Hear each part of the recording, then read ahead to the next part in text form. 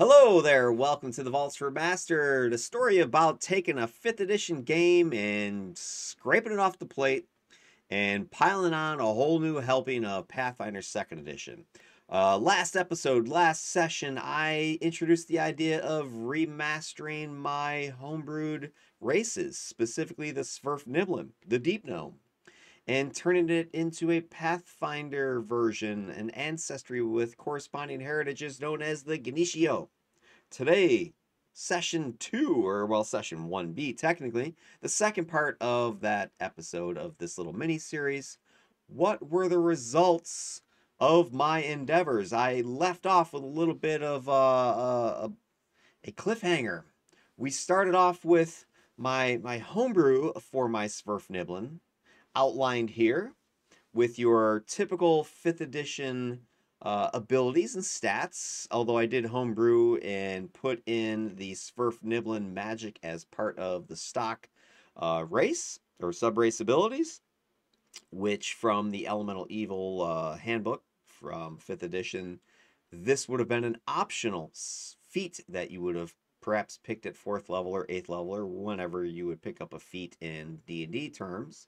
Uh, and I just slapped those two together, put it on a little bit of a, a timer as far as the levels when you'd get the certain spells, and bang, this was my Vaults version of the Svirfneblin.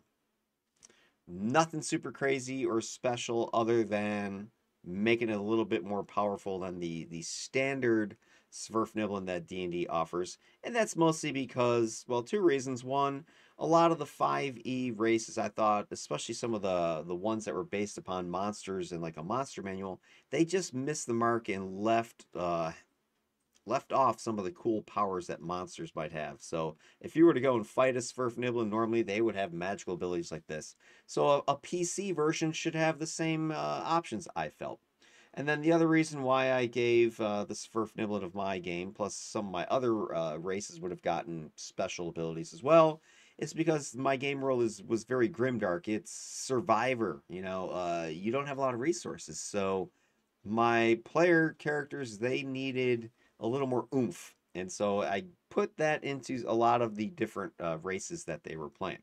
So this was my starting point, and then we talked about how I wanted to then take that and turn it into this Pathfinder version known as the Gnishiho, and I and I wanted to develop an entire ancestry uh, lore, the mannerisms, physical description, the society, the naming conventions, the belief system, get into the mechanics, the stat block for it, plus all the ancestries and all the heritages, all the different, sorry, the ancestry feats and all the heritages, and just knock this sucker out of the park. And so I left off by saying, hey, I was going to take all this lore that I had for Svirfneblin from D&D, from Pathfinder, from my own game world, and put it into Chatty Cathy, who is my AI muse, ChatGPT. Cathy loaded in there and told her, hey, can you turn it into this template with all of my information I just dumped in there? And then give me the mechanics for a Pathfinder ancestry. And that is what today's episode is about. What happened? What were the results of that effort? So let's go ahead and take a look at how I did this, what my, my specific inputs were, so that you guys can see exactly how it was that I went about creating what I believe is a masterpiece. A master choice. Let's take a look. So here we go. Pull up my my Word document here. All right, here we go zoom this over so you can see it a little bit better. Zoom out here, one second. There we go. All right, so here's what I wanted. I wanted this Pathfinder homebrewed ancestry, right? Duh. And I wanted six heritages for my vault setting. So I had to program into Kathy all the background information needed for her to do this. And then beyond that, my specific flavor I was going for for these Gnishiho, these Svirfneblin remakes, was I wanted them, especially this is the beauty with Pathfinder. Sorry to kind of go off on a tangent, but with Pathfinder, you're not locked into just that that prototypical Svirfneblin or Wood Elf or whatever that you know the race uh, statistics talk about because of the feat system because of the ancestry feat system you can you can have so many different varieties so anyway you start with your stock ancestry my svirfneblin and then I, I was talking to kathy here and i said well i want to make sure in my game world some specialization, some uniquenesses is uh, part of this this ancestry. So I wanted to make sure that one of the things, in my my mind anyway, was that these these for these Svirfneblin, like Ganishio, they were practitioners of crystal and light magic. Uh, as I mentioned at the outset, they they are like the brilliant. They're the light in the deeps, right? This is why they're they're so well uh, received by Kavarka, one of my primordials I discussed uh, a few videos ago. So if you haven't taken a look at those videos about Kavarka or the Luminite Lattice, his cult, uh, in during those videos I mentioned this my Svirfneblin, my Ganishio at the time, and how they would they would fit right in with his cultists. But anyway, uh, they are practitioners of crystal and light magic. So I wanted to make sure that that was part of this ancestry, that there was some sort of rune carving they could do, some sort of radiant magic. Uh, this also would tie into perhaps some of the illusionist uh, mythology that goes, you know, hand in hand with the older school versions with uh, Svirfneblin when deep gnomes were known, or probably still are in fifth edition rules, where you look at those uh, Svirfneblin magical abilities. They're all about illusion. So twisting and bending light through crystals and re- reflective surfaces and refractive, um, you know, crystalline objects. That definitely needs to be a flavor with my Ganishio. Also, the gemstone, that should be a big part of their culture, their lifestyle. They love gemstones. They carve them, they craft them, they make jewels of them, they make magic items with jewelry and gems you know, this whole gemomancy, I don't know what you even call it, but crystallomancy. So magic is definitely being channeled through gemstones as well. Plus the weaponry uh, would have gem qualities, uh, maybe diamond edges, you know, really sharp cutting, really hard hitting or, or unbreakable type of stuff. Uh, another area I wanted to tap into was, again, some more traditional stuff. The idea that Svirfneblin, our are, are tuned in with the earth itself. They're able to summon elementals of earth. Uh, and this ties into the, the backstory history of my game world as well, where prior to this remaster, one of the, the main, you know, threats, the main big bad evil groups were, were the Black Earth cult, the Black Hammer, the Duergar were their military arm, and they were worshippers of Ogremoch, a primordial of Earth. Uh, and when they took over the city, pedestal, which you know was like this free city that the Svirfneblin were living in, the Duergar, Oriad, Oriat, etc. The the Black Earth cult targeted specifically the Svirfneblin, my Ganishio, because of this threat, because they were such powerful uh, people who could summon you know the earth itself to to protect them. So this definitely had to be part of my remastered version. And then the last part also maybe is a bit, um, I think, I don't want to say cliche, but it's also, I think, traditional, is that gnomes in general and these deep gnomes, these Svirfneblin, they are, they're tinkerers, right? They're, they're masters with, uh, of clockwork and such. So again, I had to have that as part of my, my game world. Inventors, tinkering, engineering, uh, this is also another reason why they were a threat to the Black Earth cult and why the Duergar, you know, subjugated them, as they wanted this technology that these uh, these these deep gnomes, these Ganishio, were famous for. So those items, those issues, those features had to be part of my remaster. So this is the type of thing that I would inject from my own game notes into to Kathy, into ChatGPT. I'm not just taking some you know, website information or some book information and throwing it into ChatGPT and saying, go, make me something. Yeah, that is a huge part of it, but I also have to give it my own flavor for my own game, right? So that's part of this process as well. You can take a bunch of lore from your your game world and fuse it with the information that is in traditional type of uh, resources such as you know monster manuals bestiaries whatever right you got you have lots of information uh, and then i took that combined it with the old lore dump that i'm talking about i grabbed a bunch of information about the Society of Svirfneblin, their their culture, uh, their religion, their biology, their relationships, reflavored several of these things with my own game world, but a lot of this I was getting from D&D resources, you know, wikis, uh, from, you know, the 5e, player's handbook, whatever, right? You're getting stuff from from all kinds of resources. And I gave a bunch of this information to Kathy. Again, I I edited it and tweaked it with some of my own stuff for my own game world so that it would match better with uh, obviously what I wanted her to um, to produce for me. So I combined all that, and then I did go ahead and do do the the go. You know, give me give me this template completed with all that information. Okay, and I I put that into Kathy and launched. So here is where or what we resulted in.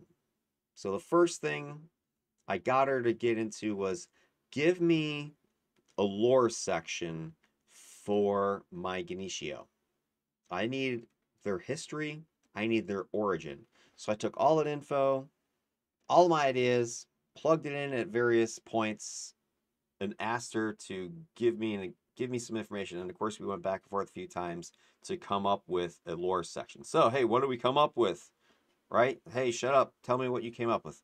Uh, very good. I shall, sir. Let's go ahead and take a look at the results. There we go. So, history and lore. This is what we came up with. So, Kathy gave me some stuff. I gave her some more. I asked her some questions. We went back and forth, and we came up with this. Deep within the fabric of the world, in a realm known as the Vaults, a labyrinth of caverns as vast and complex as any surface, forest, or sea, the Gnishiho made their home far from the light of the sun.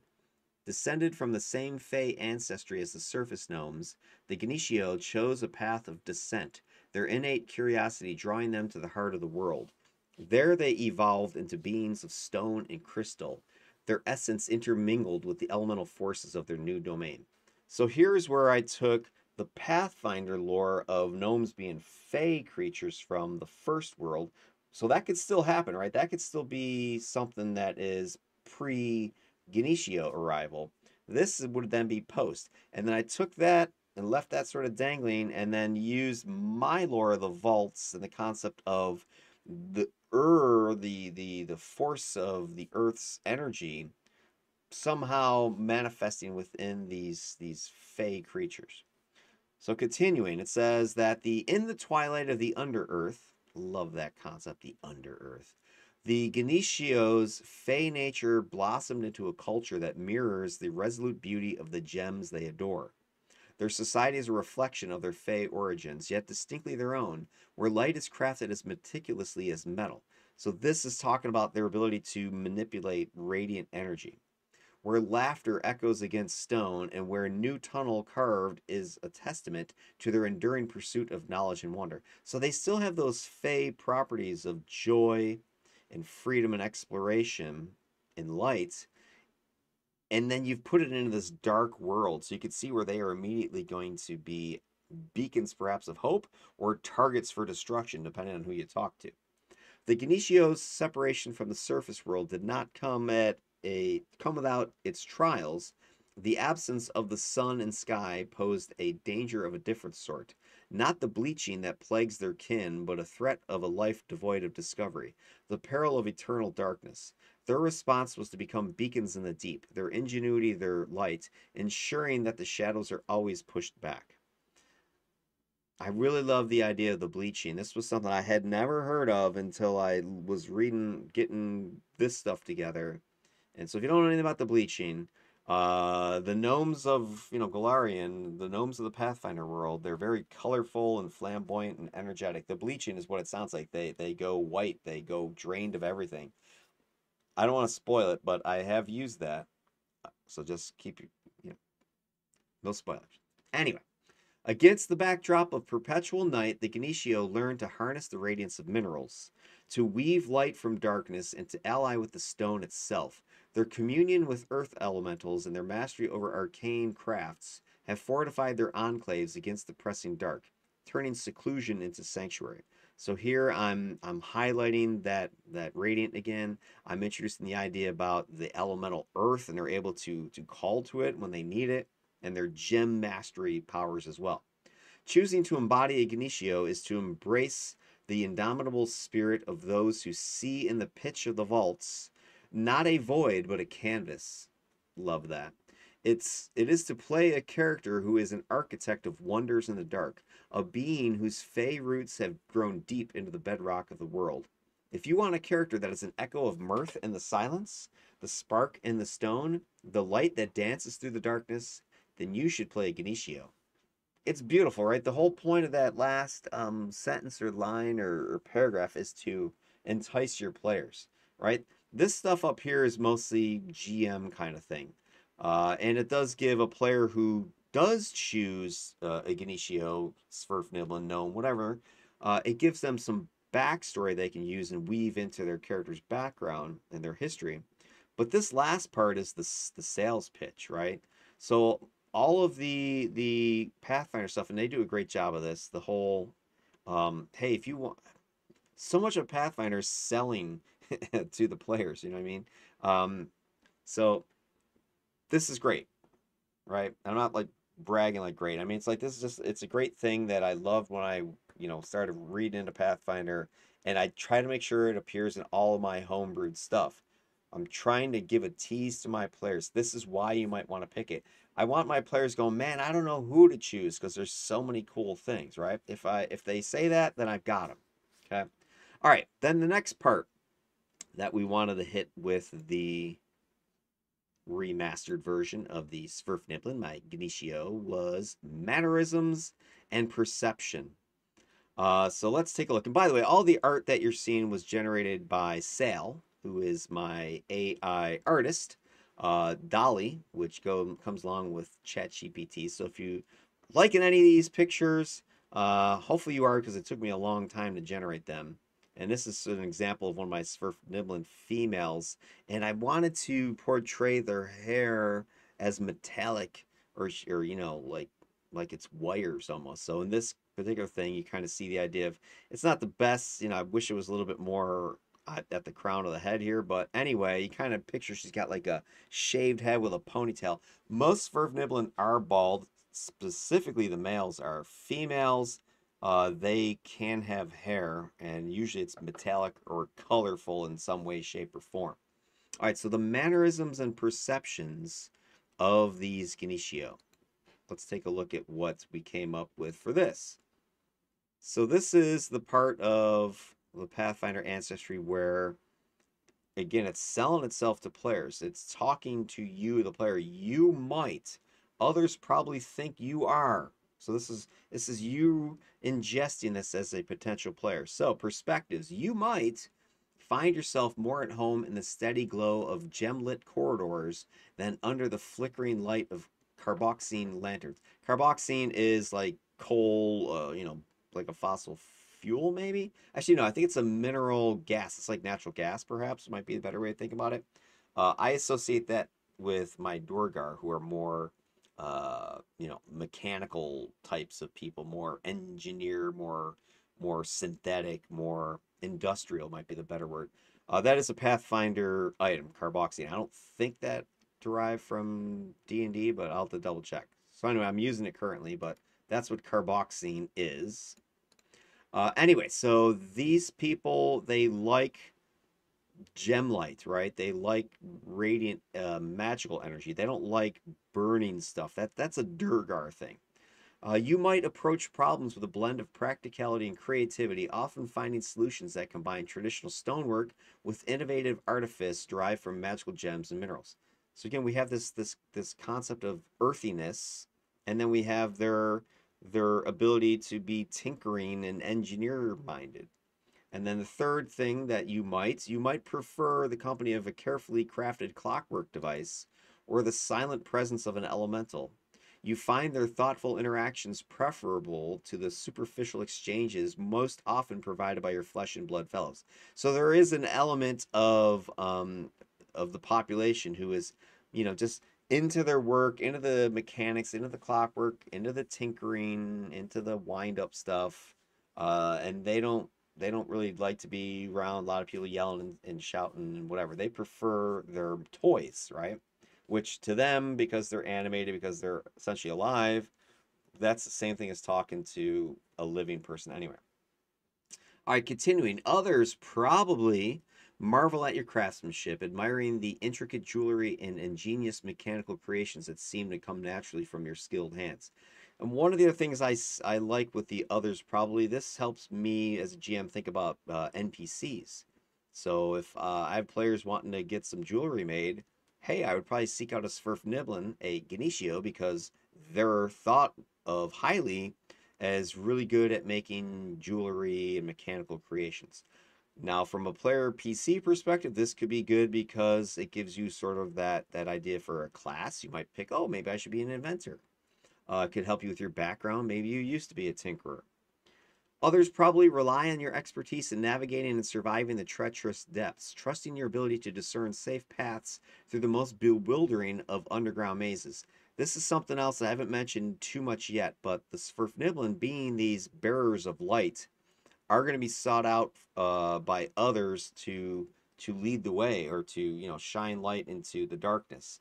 Also, there are a subgroup of um, the Svirf, the sorry, uh, who are, you know, trailblazer type of uh, people who are renowned tunnel fighters. Um, so you definitely would want them on your side if you can find them.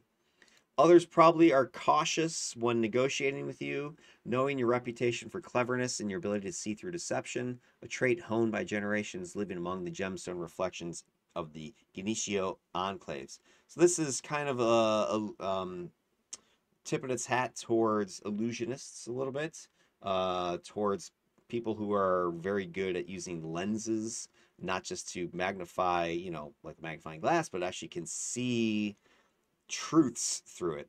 So a little bit of spoiler, but you can kind of see where this is building towards what feats and what heritages uh, you're going to be crafting as part of this this bigger collective, this bigger ancestry. Physical description.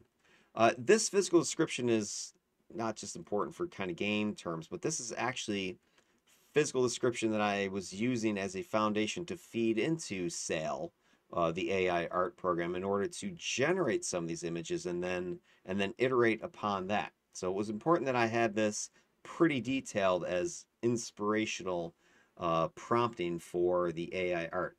Okay, because the AI art uh, a lot of people are like, oh yeah, AI, AI art's doing all kinds of crazy stuff. It is, but it's also very, I don't say dumb, but it's it's very hard to work with. Uh, you really need to have a good description. You can't just say make me a gnome. You know, it'll it'll give you a garden gnome. Uh, you know, you're trying to create fantasy creatures that eh, are hard to reference. You know what I mean? Like you can't like just say, oh, make make a picture of Beyonce. Yeah, the AI art can do something with that, but it doesn't know what a Gnishiho is. So you got to tell it. You got to teach it. So this is, was a big challenge. Uh, so anyway, the Gnishiho standing three to three and a half feet tall. They weigh 40 to 45 pounds. So these guys are little guys, right? And that was another challenge with the AI art was getting it to make these creatures seem small enough that they would look like, I don't say children, but they shouldn't look like big towering humans either. Uh, so I tried to get it go earth tone with the flesh and more diminutive with the statures. It was it was a struggle, I'll tell you that. Anyway, uh, combine the solid build of their subterranean heritage with a penchant uh, for the luminous beauty of the Earth's bounty. Their skin tones are a tribute to the vaults, from stone gray to rich ore brown, often adorned with vibrant streaks of powdered gemstones, reflecting the spectrum of lights within the darkness of the realm. This was one thing I was really having a hard time with was just getting the different skin tones, and I wish I could have gotten some more some more earthy tones. Most of the things I had to go with the grays just because once you got your AI going in the right direction, it was you it was so hard to just go, oh, change the skin color to whatever.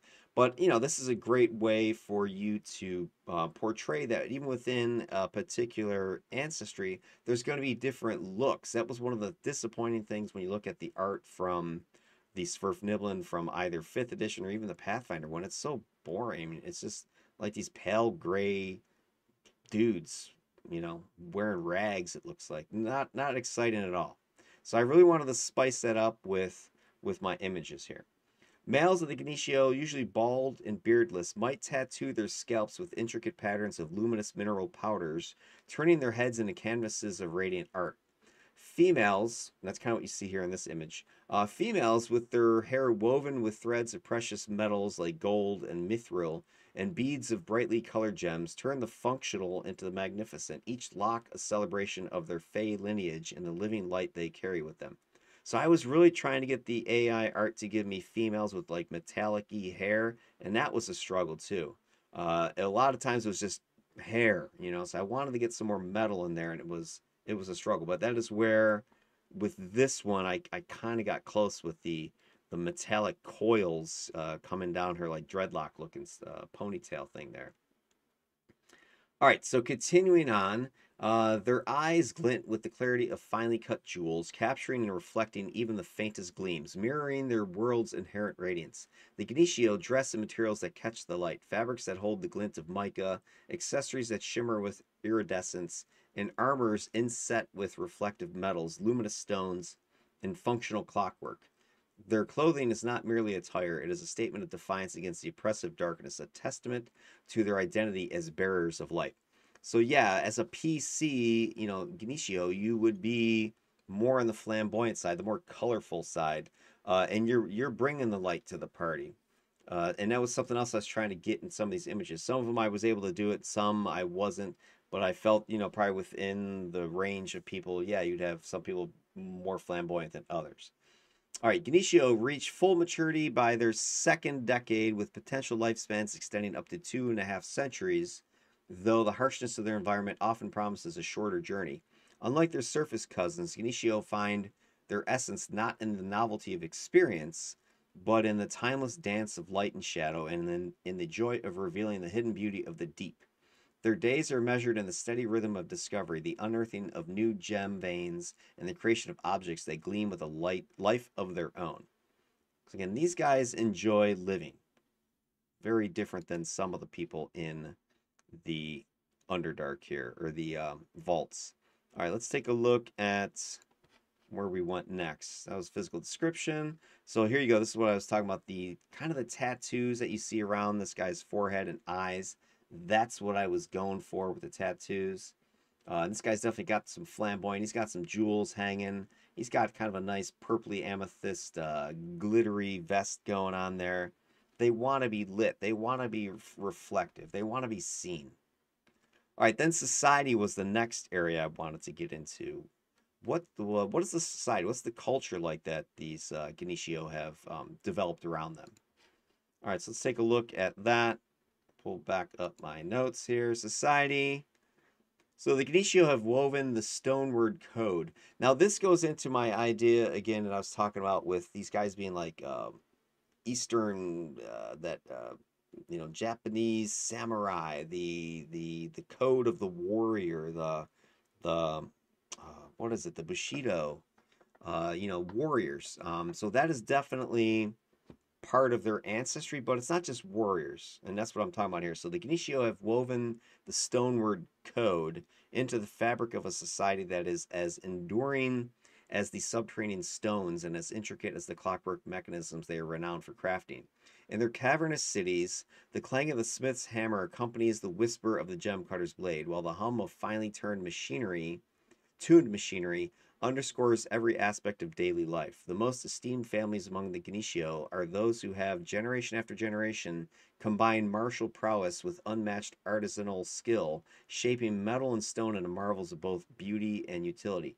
So from what I remember, uh, with you know samurai, they were not just you know killers with swords. They were lords. They were intelligent. They were artistic. They had to know what calligraphy and art.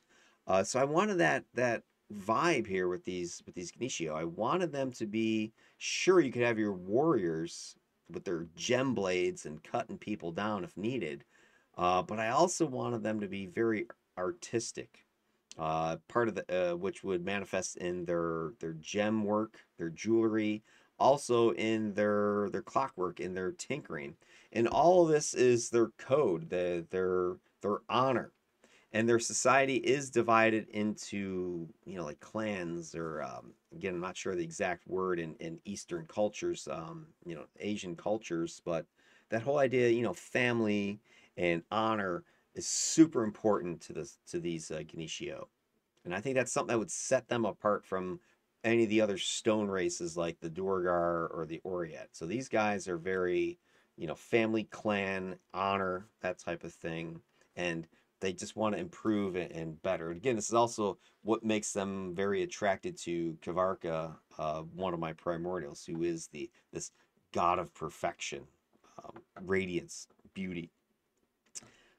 Continuing, education in Gnishiho communities extends beyond traditional lore and into the realms of mechanical mastery. Their lodes are not just centers for learning. This would be their name that they would call their their cities, um, their communities called lodes. Uh, they're not just centers for learning, or maybe that's like their name of their of their could just be their uh, academic institutions. I don't know. I have to think about that more. Uh, this was a, a term that Kathy proposed. I liked it, you know, like lodestone. Uh, so I like the concept, exactly what it's defining. Is that what they call a city or is that what they call their university? I don't know. Their lodes are not just centers for learning, but also workshops where young minds are shaped to think like clockwork, to be precise, efficient, and innovative. That's kind of spooky sounding almost, right? You can kind of see where that would that could take a twist.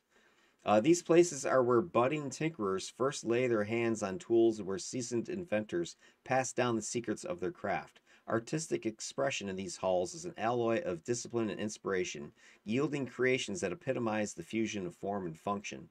A sword that sings with the purity of crystal, a golem whose heart beats with a clock's precision. Yeah, so the lode sounds like it's a university, so it's like there's schools.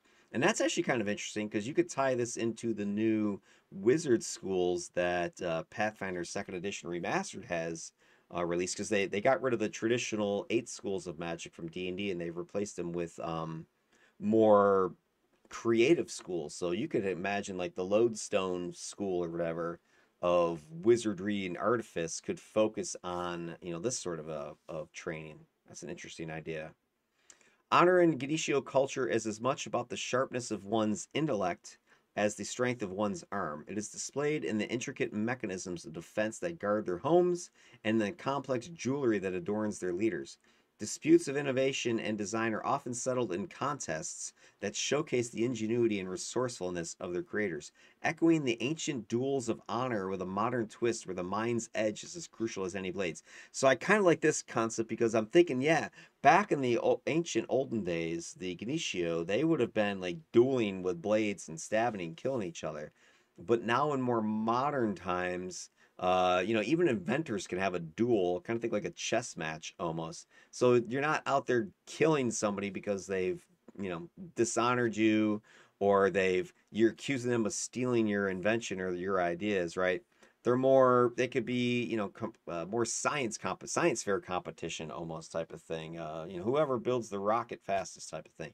That could be a fun, interesting concept. You could see that even being like a plot hook or some sort of story element that you that you bring out. Some cool ideas I thought were coming out of this whole process. All right, then we moved on to the naming conventions. And by the way, here's a great example of sort of a re-envisioned Gnishiho. These, especially with the females, as I mentioned, they have a lot of gems and jewels and, and uh, precious metals woven through their hair. They're using, uh, you know, hair dye, but they're using different gem colors in order to shade uh, they're they're normally you know uh, stony features that are gray and tan and earthy browns. They've got potentially tattoos uh, in their flesh from the like could be could be warp stone, which would give them power, which you'll spoiler you'll see later or it could just be decorative, you know, micas and that sort of thing, uh, some sort of sparkly stuff. But you know, here you have like a, a Gnishiho female. She looks like she's some sort of inventor, clockwork. You know, she's working some some device in a in a workshop. So she's inventive and she's beautiful. I really like the idea that these these they're not just Svirfneblin gray moping around the caverns and you know whatever grabbing gems. I mean, that's lame. sorry to the original, you know, people who came up with that those drawings, those Gnishiho, but they were so lame. The ones that were in the monster, the uh, DMs, whatever the the five E uh, player's handbook and the one in the Pathfinder. Ugh, guys, those those the art is terrible. Anyway, so what's going on with the naming for my Gnishiho? So take a look. Uh, naming names within Gnishiho society often reflect an individual's knack for invention, with titles bestowed upon those who bring significant advancements to their crafts. The Gnishiho take pride in these appellations, for they speak not only to personal achievement, but also to the collective progress of their entire civilization. To be Gnishiho is to be an integral gear in the great clockwork of their society. So they see themselves all working together in this harmonious machine where every turn of the wrench and every carved rune contributes to the grand design of their underground world. So they're definitely a united group. Uh, sample names, gem root names would be like their family, their clan names.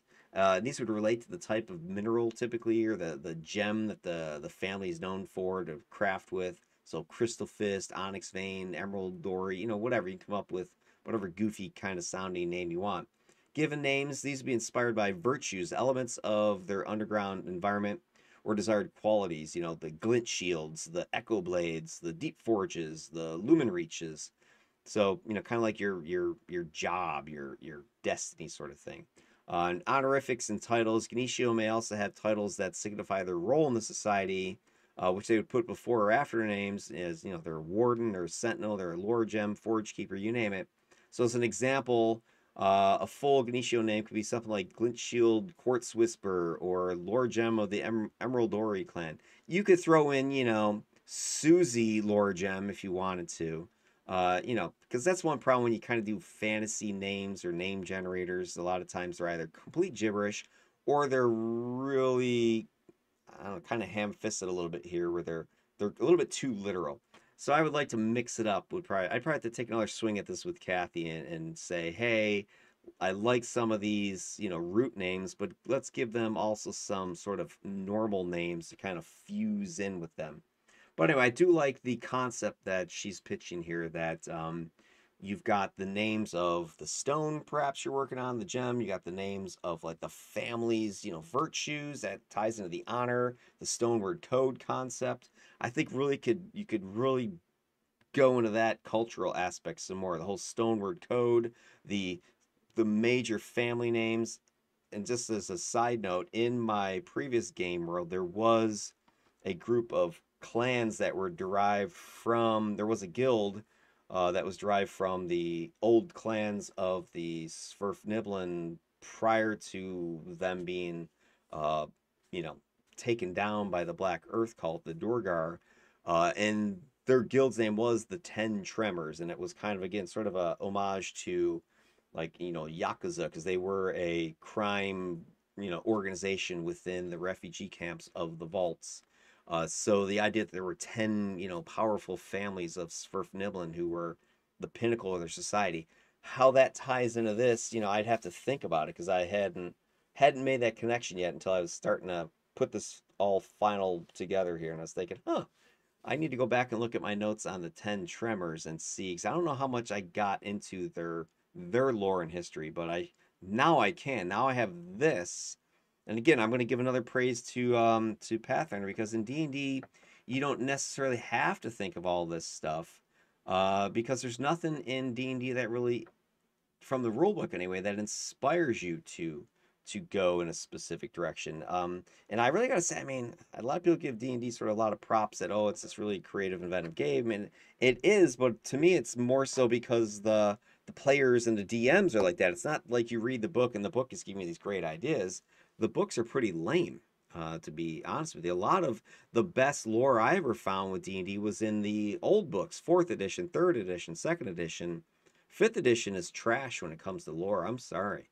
Uh, I think a lot of the stuff was stripped out when they were printing those just to make the books as you know small as they could and get as much money as they could. Anyway, side note, Pathfinder though, when you go through the book and they have this type of format with each of their ancestors, it really starts getting you thinking. There's a lot of lore built into their game books. And so when you're doing your homebrew, you're doing your own conversions, it's just natural for you to go ahead and and follow their lead. So I love that. And that's why I was saying I really hadn't thought about it until I was putting this together that my 10 Tremors, which was a criminal organization that I had on, you know, some notes on on a paper, I had some of their leaders. I bet you I can tie them into this now. You know, maybe these are their historical families, their their above board groups, but then the you know necessity of uh, survival required them to become more criminal organizations. Anyway, whole nother conversation that we could have, which we don't have time for. Uh, let's go ahead and get into what was next. So then we got into the belief section. What do the Gnishiho believe? Uh, definitely stuff about gems and light and radiance and invention and tinkering is going to be part of their their lore, part of their religion, part of their belief system. Uh, and this is where Kavarka, my primordial radiance, of crystals, of perfection and wealth, definitely ties into to this to this um to this ancestry. That was one of the reasons I picked this ancestry to go first because I had been just working on Kavarka and his cult, the Luminite Lattice, prior to these videos. So again, if you haven't seen any of that stuff, go back and look at uh, the videos I made over the last couple weeks. You'll see there's lots of lore about the Luminite Lattice, the, the this radiant cult, uh, and Kavarka, who is their their their their radiant sovereign. So let's take a look at what Kathy and I came up with for the belief structure. Scoot this down. So Gnishiho, these earthen fey folk, molded by the eternal stones of the vaults, embody a fusion of ancient warrior honor and elemental mysticism encapsulated in their stoneward path. I call it stoneward code up here. Just want to double check. Stoneward codes. Yeah, stoneward code would probably be better way of calling it. Typo code. All right, this philosophy extols community, individual resilience, and the sanctity of craftsmanship. Revering both the Forge's fire and the gem's facet, the Gnishiho elevate their work beyond mere trade to spiritual service where precision and ingenuity are sacred. Each creation, be it a jeweled amulet or a gear in a clockwork device, holds the creator's essence, binding them to their stoneward vows of integrity and contribution. So you could see their honor is everything. Their artisanry is, is everything. And now as a PC, you have this information. It really helps you role play your character. As a GM, it really helps you role play NPCs or design a, a settlement that the Gnishiho are running or a shop that perhaps they're running. This is like a religious thing. So if you go into their shop and disrespect their creations or somehow say, "Ooh, this is trash," uh, you might really hurt their feelings or really piss them off. Depends on who it is. Gnishiho artisans and warriors alike are marked by patience and a profound drive to refine the world with their crystal mechanical magics. Their workshops are altars to diligence, and their forges ring with the hymns of creation. This dedication to craft is mirrored in their deep seated belief that each action, each invention ripples through their society, affirming the collective's well being as paramount. So they definitely would be because I haven't created all my primordials yet, but I'm I'm I'm seeing a primordial in their future that is going to be. I actually have an idea for one that's mechanical. Spoiler. Uh, I definitely can see these guys digging that. Hmm. All right, let's keep going. In worship, many Gnishiho honor Sunis. Now, this I need to edit still. I want to underline this uh, because this is a D&D holdover. There is a primordial entity. She is like a female earth elemental, kind of like Kavarka, kind of like Ogremoch. Uh, and kind of in my loose lore idea, she was, I think she's going to be Ogremoch's sister. Ogremoch's like the big bad evil guy of the Black Earth cult, trapped primordial. Anyway, she is the lodestone lady, the true stone. She's like a magnetic, right? She's pointing true north. Uh, in worship, many Gnishiho honor her, who unerringly guides her children home alongside the memory of the ancient earth callers who bound themselves who bound their fates with Petra's elemental spirits to deliver the first Gnishiho from darkness. Petra, I believe, is the name of the uh, the stone elemental plane of stone. I think that's what Pathfinders call it. That's what I'm calling it anyway. Uh, a growing number pledged themselves to the crystalline titan Kavarka. I already mentioned him, the unblemished lord. That is my homebrewed version of a older D and D primordial. Again, go back and watch those videos if you want to know what I'm talking about. Seeing his luminous path to perfection as the goal for their own lives. So they've got Sunis as the true stone, the the pointing their way home, a guide. You've got Kavarka, perfection. Uh, some Gnishiho whisper blasphemous prayers to to Tink and Felzer. Now, Tink and Felzer are gods. These would be the parents of the primordials. And the gods in the game world, the ones on the surface, the gods of the heavens, are forbidden. They are like bad. Not really, they're just portrayed that way uh, because they're believed to have abandoned the people here in the vaults.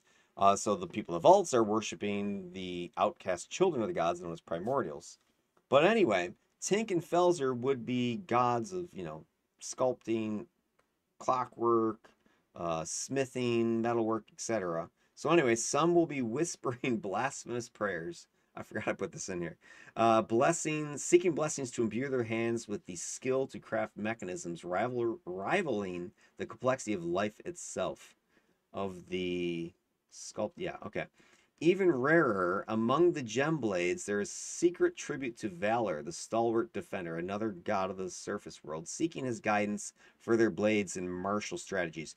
I may have to come back and revise this a little bit because I need more of my primordials developed before I can just say, oh, there's only a couple of primordials they might be into. There might be others that they could they could see as like I said, there was that mechanical one I was I was talking about. I don't want to say anything more. Uh, but anyway, continuing popular edicts and anathemas. The Gnishiho are taught to master their crafts, innovate with reverence for tradition, and uphold the subterranean balance. They are encouraged to seek wisdom in the earth's hidden facets, pursuing discovery through light and shadow, and to share their mechanical genius for the common good. Anathemas, turning from one's duty, misusing skills for selfish gain, and hoarding knowledge are the gravest breaches of the Stoneward Path, Stoneward Code. Misapplying their gifts, uh, especially in the construction of oppressive tools, so basically making, let's say, uh, firearms, breaks the sacred trust that unites their community. The path of isolation is shunned, for disconnection from the Stoneward Code and the Gnishiho community leads only to spiritual erosion. So, you know, you're supposed to be happy go lucky and partying with your your neighbors, you know, the community. So that would definitely be anathema to them. These uh, concepts, by the way, this is what's replacing alignment in Pathfinder.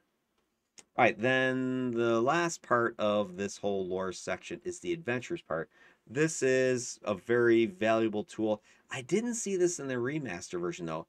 This was in sidebars in the in the core rulebook in the players section where they would have I thought little sidebars that would give you ideas of why you'd want to be an adventurer of a particular, you know, particular ancestry. So I had it in my versions, my older ones that I was starting the remaster before the remaster came out. And all of a sudden the remaster came out and I didn't see it in there. I don't know. I'll, look again. But anyway, this section gets into for players mostly. Why would a member of your ancestry seek adventure? Because adventuring, especially in the vaults, is extremely dangerous. I mean, your your life expectancy is you know a few years at best. So why would you sign up for something that's dangerous? Uh, let's take a look. So, Gnishiho adventurers often embark on their journeys driven by the deep seated desire to bring light to the darkest corners of the world and to showcase the splendor of their subterranean craftsmanship. Some may feel a calling to venture beyond their familiar tunnels to safeguard their kin from emerging threats, while others are motivated by an insatiable curiosity to uncover the lost secrets and ancient magic that pulse within the Earth's depths. These adventurers are characterized by their resourcefulness, innovation, and a profound sense of duty. Before venturing into the perilous life of adventuring, many Gnishiho had honed their skills in professions that are now the bedrock of their journey. Some were esteemed gem cutters, their days spent within the sparkling confines. Sorry, I gotta fix that. Uh, confines of jewelers' workshops where they shaped rough stones and brilliant gems. Their keen eyes and steady hands now served them well in discerning the hidden dangers and treasures of the vaults. Others stood as sentries, guardians whose vigilance, I don't know if that should be capitalized or not, Uh, sentries, maybe that's a title. Uh, guardians whose vigilance and combat prowess were tested against the lurking threats of the deep. Skills that now prove invaluable in protecting their companions in the wild tunnels. There were also tinkerers, the ingenious minds behind the myriad of clockwork creations that pulse through Gnishiho society.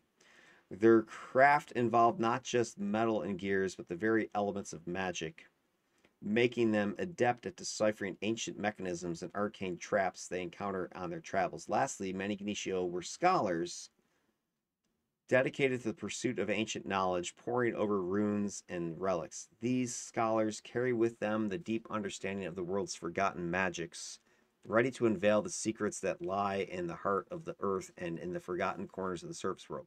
All right, so this paragraph is presenting possible backgrounds for your PCs. So for the players, they're trying to come up with a character background, character story. This paragraph is giving that them that giving them that information. That's why I think Kathy was capitalizing this stuff. I think she was because when I asked her to do this, I said, um, hey, why would these Gnishiho wannabe adventurers? That's that opening paragraph, really. And then the next thing I said was, well, what kind of backgrounds might they have in Pathfinder terms?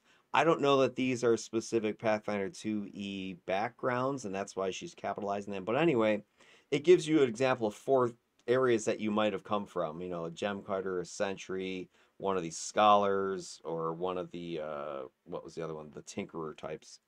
So gives you some some flavor, gives you some concepts.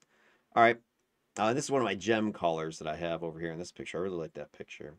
Then the next one, I really like this picture. This is one of, oh man, I don't want to spoil it. There is a heritage that ain't looking so pretty, and I kind of spoiled it a little bit earlier when I when I alluded to it. But I'm not going to say anything else because we haven't talked about heritages yet. But that's coming. Uh, next video, I think. As Gnishiho step forth from the intricate caverns of the vaults into the life of adventure, they carry with them a legacy of craftsmanship and guardianship that naturally predisposes them to certain callings. So this is going to give the players some ideas of what um, maybe classes they might be good at. Their life amidst shadows makes them natural rogues with a talent for stealth, disarming traps, and revealing hidden paths.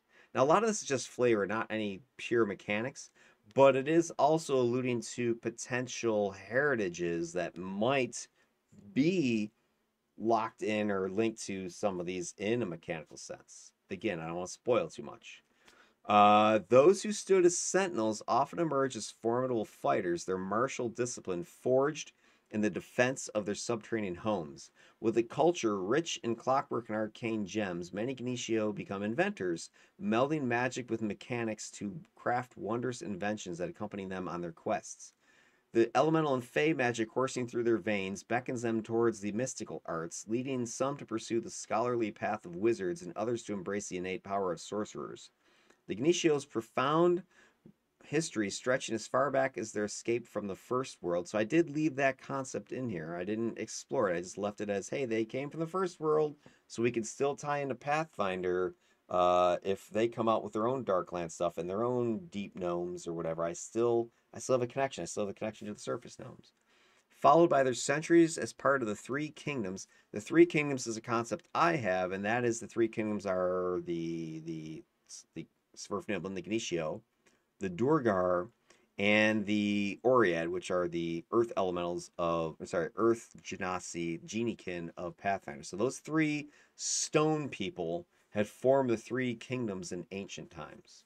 So Svirfneblin gnomes, they leave the first world. The Svirfneblin descend into the depths. They evolve as Gnishiho and then become part of this three kingdoms. Anyway, this long history inspires them to become bards, spinning tales and songs that resonate with the magic of their ancient world.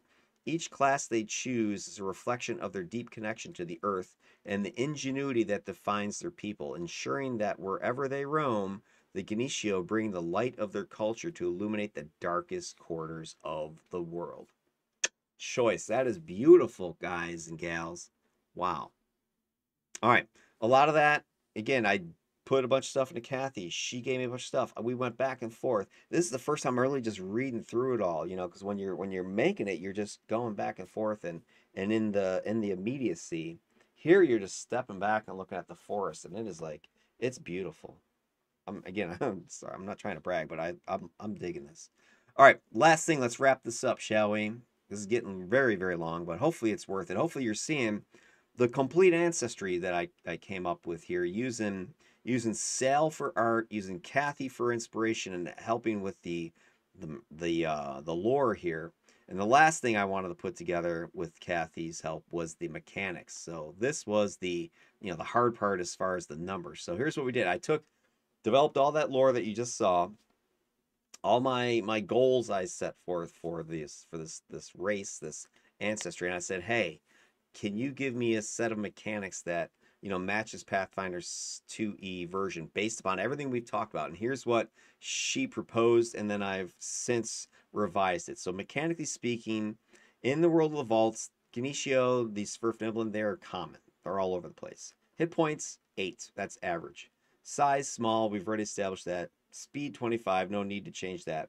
I went with the original, more D&D version, Dex and Intelligence, and then the free boost because that fits better with my earthy mechanical, you know, inventor types.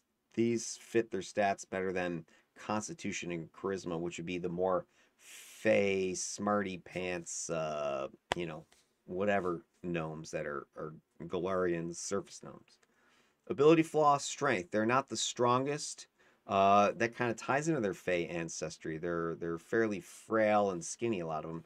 Um, although there are warriors amongst them, so that that's always the problem when you kind of use the flaw system.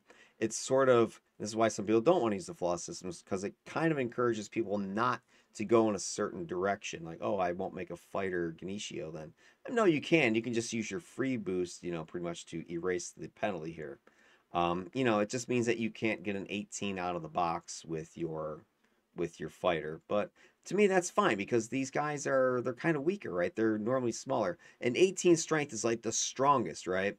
Um, and so if you got a human who's 18, and then there's a little Gnishiho who weighs 40 pounds, is also 18, that guy be like, like a little Hulk running around. It, it wouldn't make any sense. So the fact that they're naturally a little bit weaker, you know, that's fine. This goes with their stature.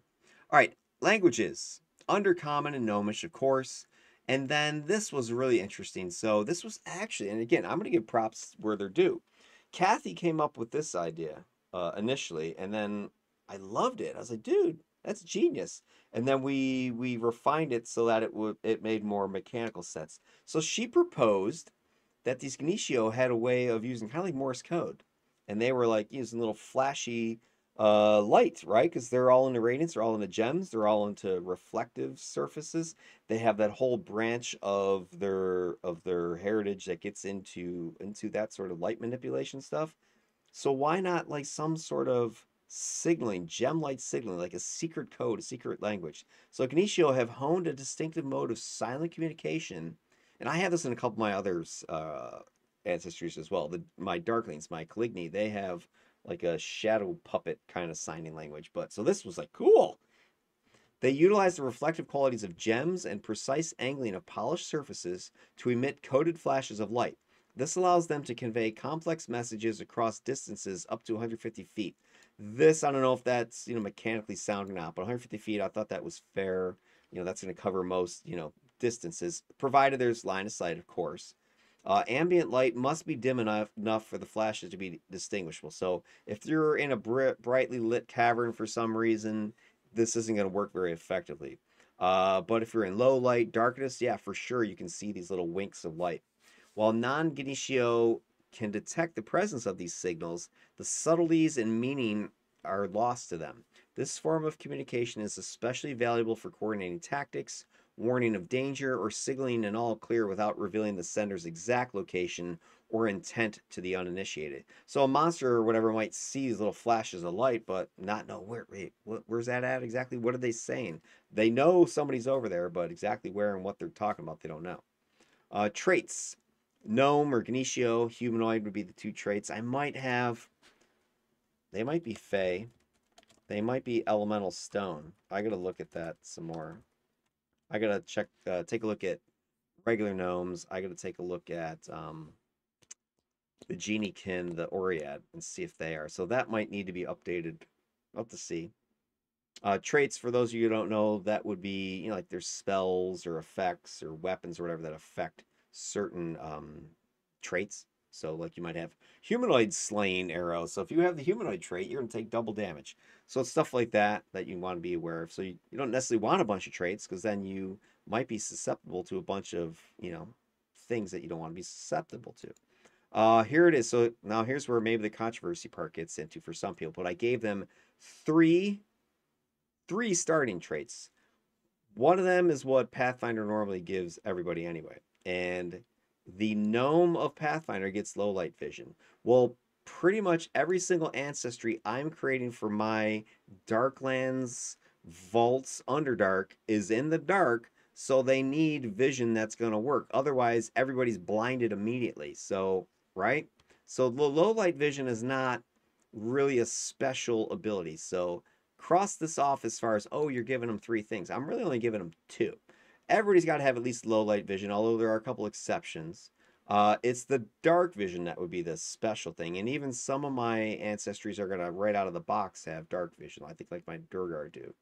Um, but these guys have low light vision, and the way that rationalizes to me is that because they are living normally in kind of brightly lit areas with gemstones, and they're from you know the surface, the the Fey, uh, the first world, it makes sense that they naturally had regular light vision, but now they've come down here and over however thousands, hundreds of thousands of years they've been here, they have low light vision naturally.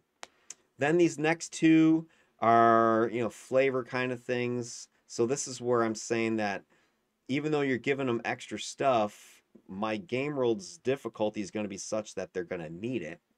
And the things I'm choosing, I'm I'm not going to give broken powers. I want to give them a little bit more flavor uh, that makes this Svirfneblin conversion more Svirfneblin from my original vision uh, and specific, you know, unique to the game world.